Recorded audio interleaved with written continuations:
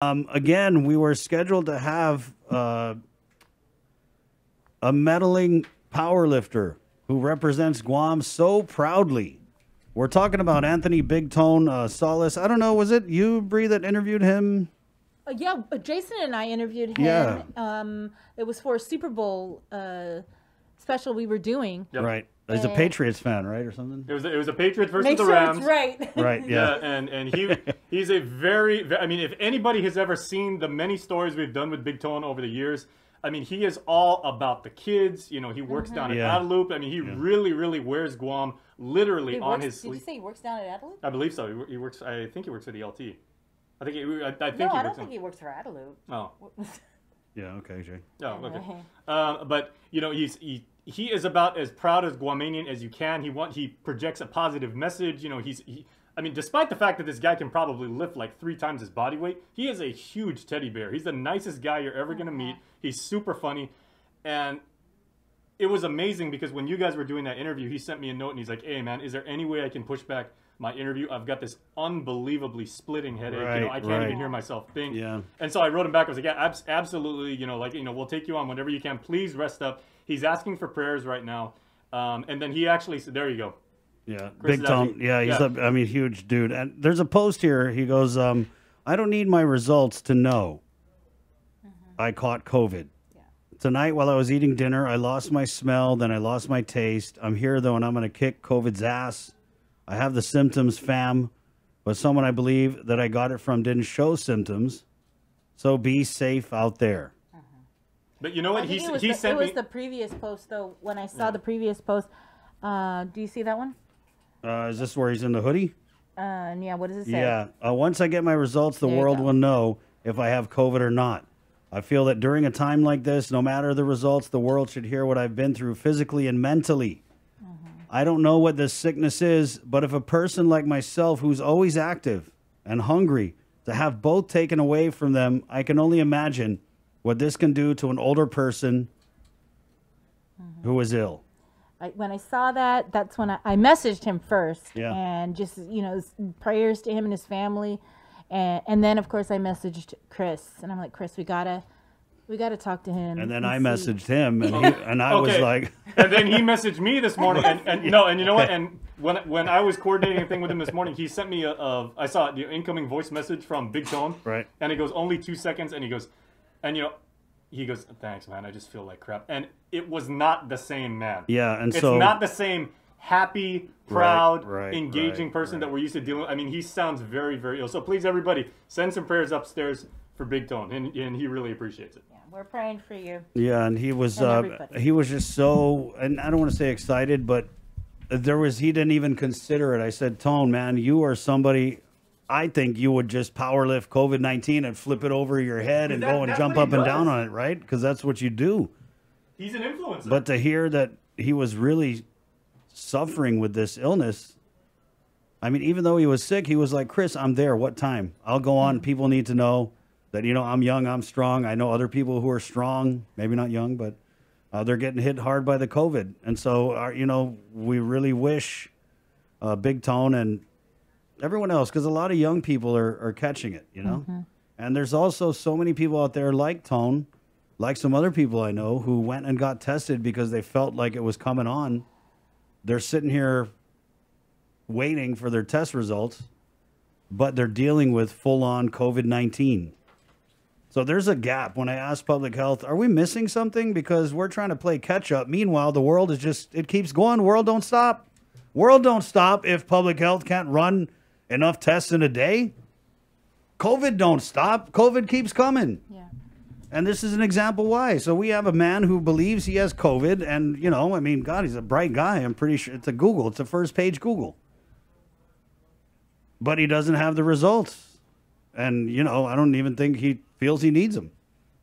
And so our thoughts are just with uh, Big Tone and, and everyone else, you know, and and we kind of saw our seventh fatality. It just came and went, and there was just so much news after that. But again, this is this guy on this ventilator was not an old man, 34 years old. right? 34 year old gentleman. 34 years old. That's 10 years younger than me. Well, 11, but Can, can I ask? You, can I? You know, I was thinking about something this weekend when, when all the stories were coming in. And you guys kind of touched on it earlier, right? I'd like your your opinion. You know, as as people who document you know Guam history, right? Is the nature of the problem we have here on Guam, and you know, the governor said this morning, you know, about it seems like people just for whatever reason are not abiding and adhering to her stay-at-home directive to me it seems like a spectrum right like like when it comes to me like i'm a software engineer so my b- big thing is solve the damn problem right? Right. and to me it seems like it's some sort of spectrum right? either people don't know don't understand or don't care Right. And which, the- which of the which of those three no, no, boxes no, no. would you put What- it in What's dangerous here, Jay, is that people do know. They do know. Hmm. But they're just trying to turn this into we hate the governor, burn your mask, go out there, open everything a thousand percent. That's to me what's really so from your vantage from your vantage point hurts. it's, it's not awareness is not the problem? No, It's- people yeah. are aware. They know, but they just want to be knuckleheads and they want to be rebels and they want to talk about constitutional rights. Yo, the Constitution doesn't even really apply here. Newsflash. And I just think it's it's these people who are turning this into some kind of Republican Democrat thing. I mean, God, you, you guys know we're critical. We're going to ask tough questions, but at the end of the day, like I don't want my family to get sick. I don't want you guys to get sick. I'm going to wear a mask. I'm going to do what I have to do not just for me, but for you guys, because that's how we are. We are like this, okay? We cannot be like this. We have to be like, you know, I mean, not literally, but we're all intertwined from, together. from six feet away yeah.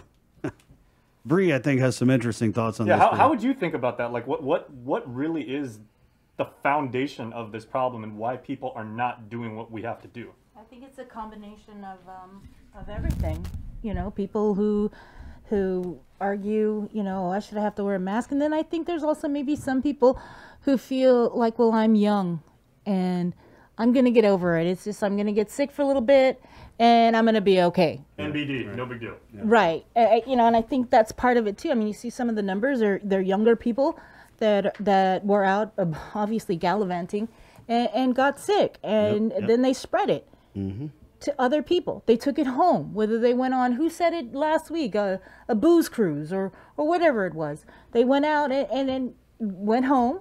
And then it just keeps on spreading and spreading and spreading. They go to the grocery store, they go to the gas station, they go to all these different places. And so the governor came to this point where she had to lock it down, shut it down. But then there's the other side where it just really frustrates me where we apparently don't have any damn plans. We didn't prepare for this. Yeah.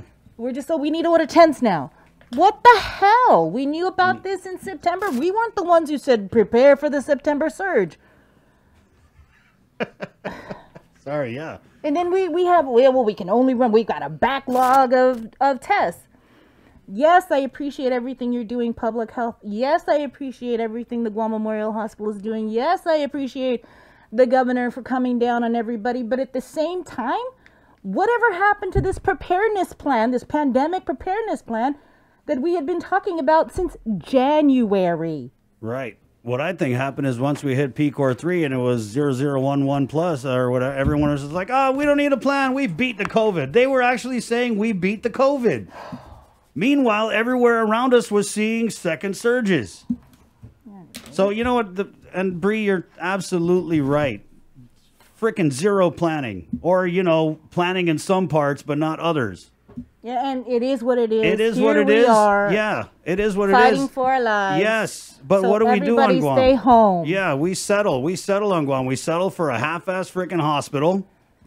We settle for a healthcare mm-hmm. system that we can't even stay here. If someone gets sick, you got to go beg people to get their car washed.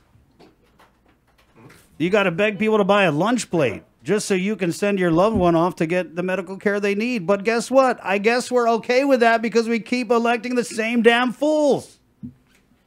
So this is yet another example of the people of Guam holding the damn bag while our elected leaders' priorities are all.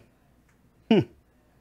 And so that's where we're at. And so I get it. There's no planning, right? Am I going to sit here and spend every minute of my day saying, God, they didn't plan, God, they... no, because it is what it is, like Sabrina said. We got to do our part.